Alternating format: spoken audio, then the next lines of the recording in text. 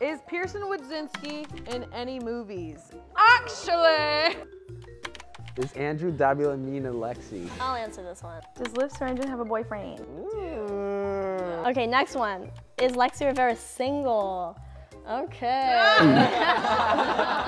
next one. Oh, wait, wait, wait, wait, wait. What?